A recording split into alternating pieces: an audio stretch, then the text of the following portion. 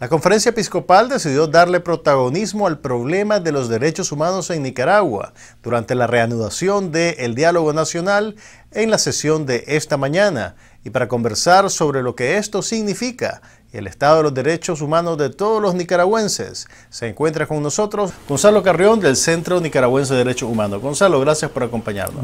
Buenas noches, gracias por la invitación, Carlos. Gonzalo, para las 4 de la tarde, que es la hora en que estamos grabando esta entrevista, eh, no se había reanudado la sesión del diálogo nacional, sin embargo, durante la mañana la discusión se concentró en el problema de los derechos humanos y encontramos un impasse entre la bancada oficialista y la alianza cívica.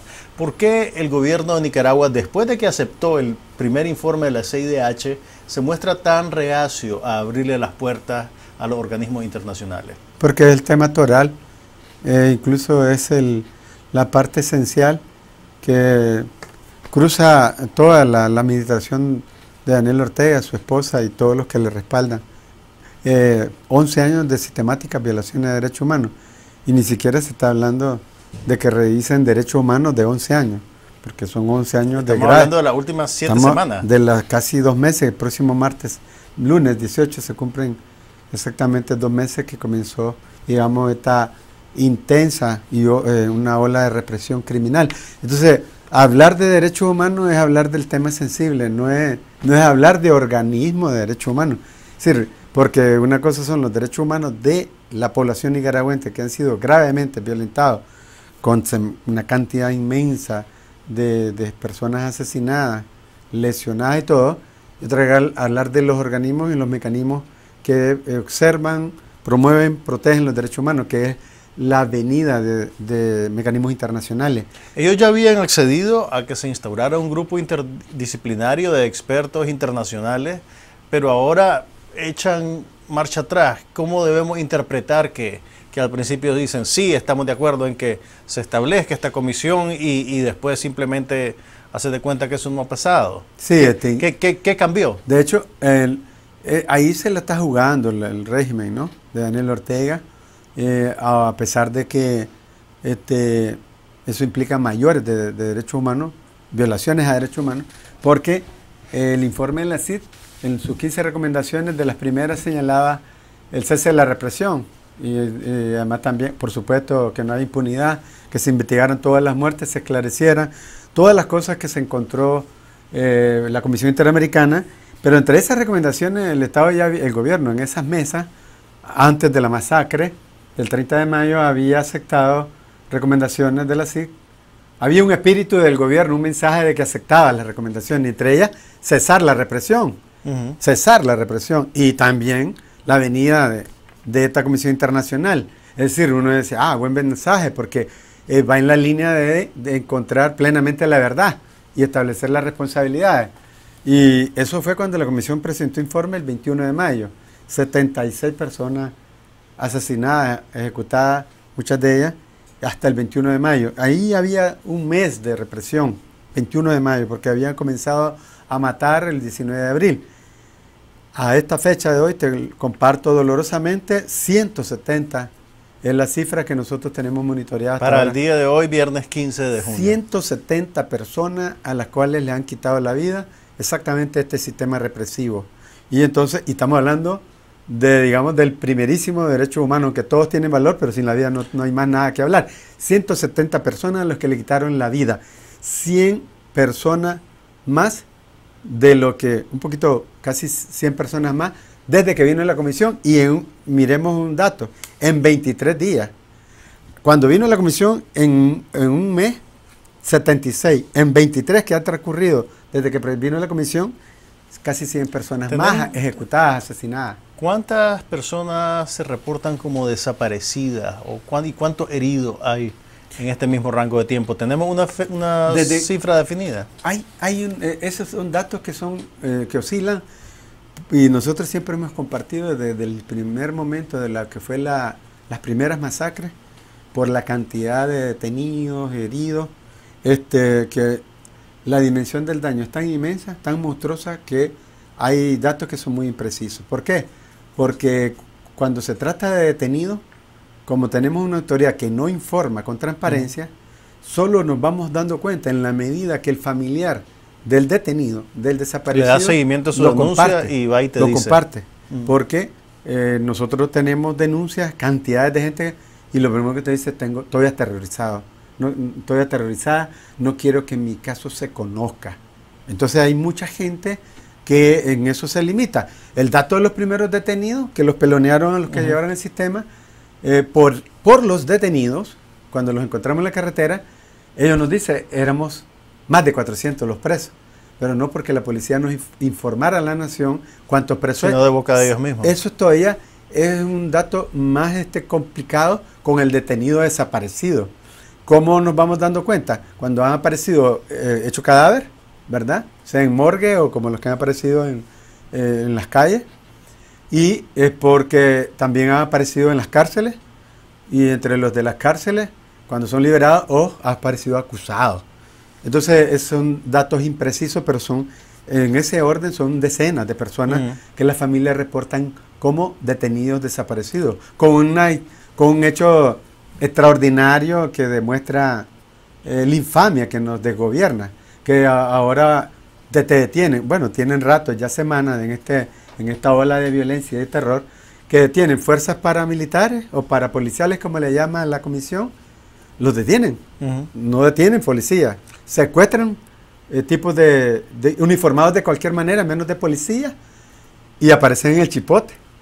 Es decir, Justo ahí la- operación combinada, ¿no? Justo la mañana de hoy, los familiares de Carlos Bel Díaz, un muchacho de 28 años de edad, reportaron que había sido secuestrado de su hogar. Y, eh, este tipo de, de- de situaciones se vuelven cada vez más comunes. Estamos frente a una escalada de violencia en la cual eh, cualquier ciudadano puede ser objeto de estos abusos. Yo creo que desde el 19 de abril, bueno, esto comenzó el 18, ¿verdad? Y lo compartimos de inmediato, pero el 19 de abril que comenzaron a matar, la escalada ha venido, esa ha sido la tónica del régimen. ¿Por qué? Porque en todas las marchas, las grandes demostraciones, eh, nosotros no esperábamos, y las madres que, a las que le hicimos homenaje el 30 de mayo, mucho menos, que el 30 de mayo masacraran. Ese nivel de, hablando de elevar el tono de la, de la criminalidad, el 30 de mayo, cómo masacraron el 30 de mayo, y ya han hecho varias masacres. Ahora, el, el gobierno de Daniel Ortega no ha reconocido que tiene control de estas fuerzas eh, para, parapoliciales y además de la Policía Nacional y no se lava las manos de responsabilidad en estos casos. ¿Cómo puede ser un interlocutor en, en negociaciones frente a organismos internacionales si, si no reconoce ninguna responsabilidad sobre los Bueno, en el informe de la CID, que pronto será el informe definitivo, ahí está comprometida la responsabilidad del Estado. Lo que ahorita maneja, que está en una posición de va y viene, y echa para atrás y ahora no quiere reconocerlo, el informe de la CID, eh, obviamente el definitivo, eso va a quedar completamente establecido. Esas son oscilaciones del Estado, lo que te demuestra es el, el juego de manipular los momentos, de, de incluso con desfachatez y poca vergüenza, es de lo que menos tienen, pero de mucho de, de- de criminalidad, te, te señalan que ellas son las víctimas. Ahora en el proceso de, esto de conversación, ellos dicen que ellos son las víctimas. Entonces, el gobierno es igual, pero la CID en su informe definitivo va a aparecer la represión fuerte, eh, criminal, atroz y el mismo tema de los paramilitares. Eso, no eso es irreversible. Ahí está comprometida ya la responsabilidad del Estado, primero con Nicaragua, con nuestro pueblo, y después a nivel internacional. Eso no tiene retroceso. Después de la publicación de ese informe final, la CIDH tendría que hacer otra visita a Nicaragua. Esa visita eh, necesita una invitación, existe, digamos, algún vaticinio de que podrá realizarse y qué pasa si no se realiza. Mira, el importante, la Comisión Interamericana, en su informe definitivo va a los órganos de la OEA. Eso tiene un alcance político en la línea de que el Estado de Nicaragua y gobierno, como desgobierna el país con graves violaciones de derechos humanos ya reconocidas, eh, no solo por la CID, sino también por la Amnistía Internacional. Hay un monitoreo mundial sobre las violaciones de derechos humanos, sobre lo que está pasando. Ese informe definitivo, incluso la CID, vale, vale señalar, este, eh, ya establece en términos de responsabilidad del Estado en violaciones a derechos humanos. Ahí no hay vuelta de. Tiene un impacto porque en Nicaragua, el Estado de Nicaragua queda eh, marcado en la comunidad internacional, en la comunidad mundial, como un estado de graves violaciones a derechos humanos. Eso, ese es un impacto de mucha trascendencia, porque, o sea, paso, en, la, en este órgano de la OEA, pues, este, sea Consejo Permanente, en la OEA, eh, el informe tiene una discusión y es en el orden de los derechos humanos, de, esta, de este tema que le rehuye el Estado. Ahí Nicaragua ya está comprometida. El Estado de Nicaragua como violador de derechos humanos tiene un alcance. Vuelta de la Comisión en Nicaragua siempre es el Estado si, si, el Estado le cierra la puerta a la Comisión. No obstante, la Comisión Interamericana está monitoreando permanentemente a Nicaragua, de tal manera que incluso eh, este, ayer el Estado de Nicaragua estaba reprochando a la CID, estaba reprochando y le, lo acusa de falta de, imparcialidad, que tiene sesgo, porque la CID condena el, recrudecimiento de la represión criminal del Estado y gobierno con sus agentes del Estado, con sus fuerzas particulares, que son verdaderas este, expresiones de una estructura criminal. La comisión lo está monitoreando y lo señala y lo condena. El Estado eh, sale eh, reclamando falta de, imparcialidad de la Comisión Interamericana. Eso te demuestra que la CIA está eh, condenando a la represión, como viene ese informe definitivo, y que el Estado de Nicaragua está comprometido a nivel internacional. Vamos a seguir viendo a un Estado negando la realidad, negando que reprime y sigue masacrando a nuestro pueblo en Masaya, en León, en Matagalpa, en Nindirí, en, las, en los barrios de Managua, que además lo hace eh, de manera tenebrosa, ¿no? Recordando tiempos que nosotros creíamos que ya habían Ya el, el, día de hoy, mientras el diálogo estaba en sesión, se reportaban ataques en Santa Rosa, en Bello Horizonte, en Villa Progreso, incluso quemaron una casa de habitación. Eh, ¿Cuál es el límite de la violencia? para que la, comunidad internacional intervenga de una manera más decisiva. ¿Existe un límite? Eh, hablando de límite, este régimen, ¿verdad? Esta dictadura dinástica sangrienta no tiene límite, está, está claro. Esta gente no, eh, obviamente una dictadura no atiende razones y la demostración es esta. está en una especie como de ocupación en los barrios, eh, como de tierra arrasada, eh, con fuerzas que, dicho sea paso, no son las, las ordinarias que mirábamos, estos chavalos de fuerzas de choque, ¿verdad? Aun cuando siguen siendo parte de la estructura criminal, pero vos mirás el desplazamiento de esta fuerza y ya no son cualquier tipo de gente, ¿no? Hasta en la forma en que ponen el fusil. No dirías que hay gente que tiene cierto nivel de entrenamiento. Viste que pone el tipo como, eh, que parece un tipo como un francotirador y lo pone en una posición que le llamamos nosotros ¿verdad? En términos de la jerga militar, este, en posición de descanso, bien adecuadito. O sea, es, eso ya no son cualquiera, porque incluso eh, eh, esas operaciones limpieza, eh, operaciones de, terror, que le llaman como defensiva final, ser, son operaciones de una bola de criminales, canallas cobardes, porque andan haciéndolo con personas desarmadas. Entonces, y además con cinismo, porque niegan esa realidad. Y, todos los celulares de la gente, a pesar de estar en el terror, los están grabando. Y entonces, y ahí este, esa es otra cuenta pendiente a esclarecerse, porque eh, una comisión de la verdad, una investigación con expertos, eh, va a dar con el paradero, a aproximarnos bastante a la verdad de dónde están eh, proveyéndose esos fusiles, esos francotiradores, que para ser francotirador ni vos ni yo, ni los televidentes los podemos comprar, esos fusiles y con tanta precisión en una pulpería, ¿verdad? ¿Qué debe, ¿Qué debe hacer la ciudadanía para prepararse para ese momento, digamos? Yo he leído que cuando se investigan crímenes de guerra de estados de esa naturaleza, eh, se favorece más la, prueba documental que la prueba electrónica, que el video. Eh, ¿Es eso correcto? No, los, los videos no son descartados en la medida, bueno, ustedes mismos incluso cuando quieren hacer noticia de algo que sale en video, ustedes procuran hacer una, verificación ¿no? Para por la objetividad. Los videos no son completamente cortados, por el contrario, incluso hasta sirven para prevenirlos, ¿verdad? Los hechos. Pero la primera es la alerta a la ciudadanía, que es lo que está haciendo mucha gente de eh, autoprotección. Ahí que tengo que compartir una cosa dolorosa. La gente nos está llamando de diferentes lugares del país, de diferentes lugares del país, eh, que quieren que estemos en ese momento. Y eso es una, situación que nos parte el corazón porque en, decenas de lugares, que porque a veces atacan en simultáneo a más de 10 puntos. Y Y, este, y uno debería decir, cuando estás perdiendo la vida o estás a punto de perder, decir los guardianes de nuestra seguridad, la policía, pero la gente está en una completa indefensión, eh, sometida al terror de estas fuerzas que operan junto con la policía. Entonces, ahí, primera, el autocuido, eh, no dejar de filmar, como lo hace, eh, de filmar, como lo hace la, la, gente.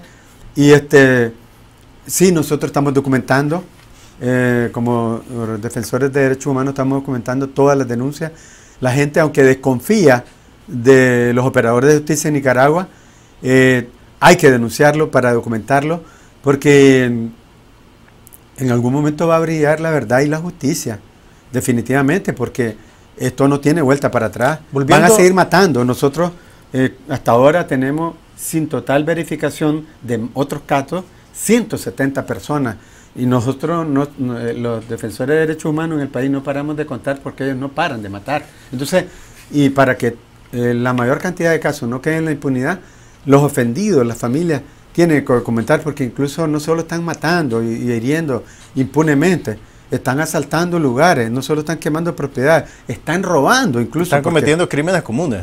hasta delincuencia de esa naturaleza, porque nosotros hoy de diferentes barrios de Managua y del país nos estaban diciendo cómo no solo atentan contra la integridad de las personas, a los que no matan, eh, los, los, malmatan, los hieren, ancianos de todo tipo, niños. Entonces, y también, de paso, como para variar esa fuerza de terror, eh, también son ladrones. Volviendo a los organismos internacionales, el relator de Naciones Unidas para Derechos Humanos ha pedido venir a Nicaragua.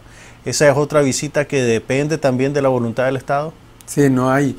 Si te fijaste, hace eh, como un mes antes, un mes antes que reventara esta ola de violencia y de terror por parte del Estado y todas sus fuerzas criminales, había visitado el país el relator por, sobre las libertades eh, de, los, sobre los defensores. Ah, sobre los defensores. Correcto. Eh, creo que Michael Frost, por ahí. Sí, sí, sí. No lo sé mencionar bien, pero vino ese relator y vino en una labor como académica.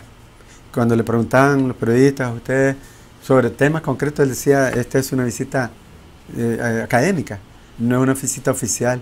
O sea, mm. el Estado tiene que tener Tiene que haber una visita oficial.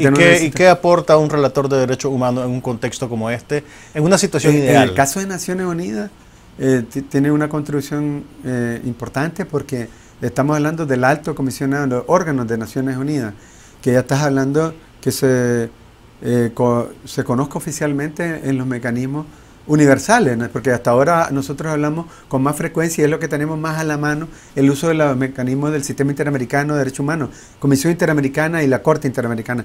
Las Naciones Unidas, estamos hablando de toda la, la bola del mundo, todos los países del mundo, aun cuando se conoce lo que está pasando en Nicaragua, porque la semana pasada, mientras aquí estaban matando, eh, conocimos que eh, la solidaridad de muchas capitales en, el mundo que se movían solidariamente con Nicaragua. Hubo, Entonces, hubo manifestaciones en varias ciudades en muchas partes del mundo. Madrid. Es decir, la conciencia universal de la ciudadanía eh, expresa que no, Nicaragua no está solo, el pueblo de Nicaragua, pero que lo conozca el mecanismo universal, Naciones Unidas, apunta en la dirección a mayor protección de los derechos humanos, porque eh, la comunidad mundial este, le, viene a poner un jaque a eso que de, esta irracionalidad criminal de esta ah, pareja que nos, nos desgobierna con el crimen y que quiere permanecer a punta de fusil y de terror. Entonces, mayor aislamiento,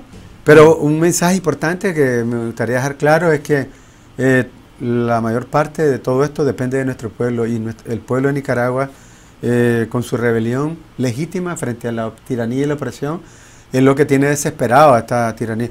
Si están matando y tirando a matar más, si están tirando a matar eh, despiadadamente, cobardemente, es porque popularmente, si vos y yo, si los que nos miran tenemos miedo a perder nuestra vida porque es única, ellos están, creo, con pánico a perder el poder, porque se sienten que se derrumban todo después de 11 años de, de, de latrocinio y de atrocidades en violaciones a los derechos humanos de nuestro pueblo. Gracias por ver este video. Si les interesa conocer más sobre el periodismo independiente que realizamos, los invitamos a suscribirse a este canal para recibir todos los reportajes y entrevistas de esta semana, esta noche y confidencial.